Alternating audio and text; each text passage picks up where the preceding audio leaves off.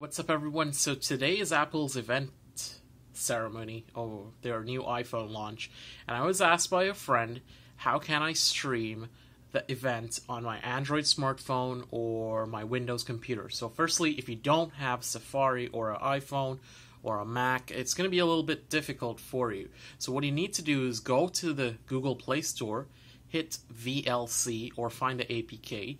Look for VLC for Android. There's also a beta version, but we're just going to use the regular version because not everyone's uh, uh, has access to it. So you just open up the app, whether it be the regular VLC or the beta VLC, depending on which one you get, and then you go to the Apple event. I'll put a link down below so you guys could copy the link for this video. So you just copy this link wherever it is.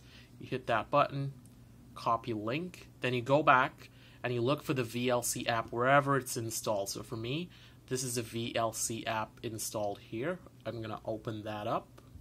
And now I'm going to hit on the overflow button that's in the top left hand corner right here. Hit that button, hit stream, and you just copy and paste that link right in there. The link for the for the event is going to be saved down below, so just right click and copy it and then hit save and then you're going to see that appear, you know. Uh, you just got that, dismiss it, and then you just hit play in about an hour time. So just copy and paste. So hopefully you guys got this video, and uh, yeah, good luck. Enjoy the event.